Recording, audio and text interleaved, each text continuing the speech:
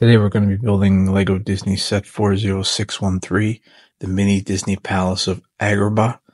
Uh, it comes with 506 pieces, so let's get it open and put it together.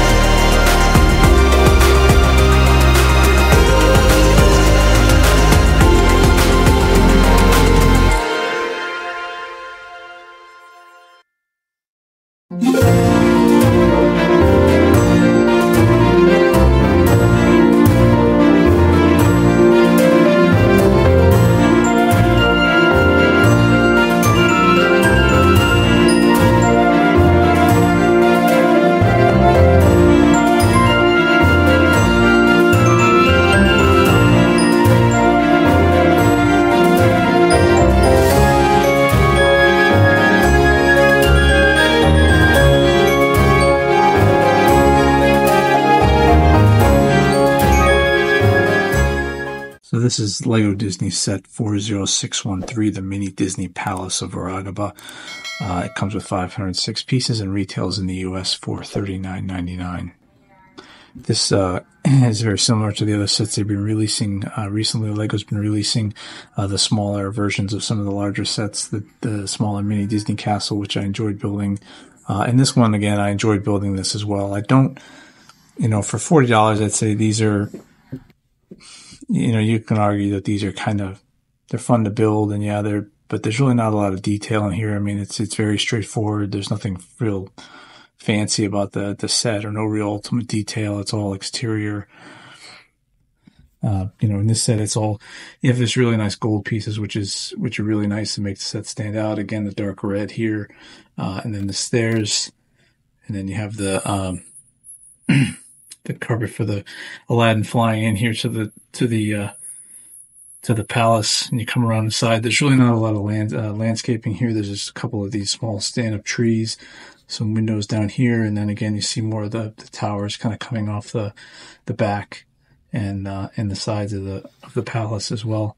So, like I said, the same thing with the with the mini Disney t- castle. Um, you know, it's all exterior. There's nothing inside the you know building out anything. It doesn't come apart. There's no modular uh, to this. So if you enjoyed this video, I appreciate if you click on like and subscribe. Uh, and again, I appreciate your support.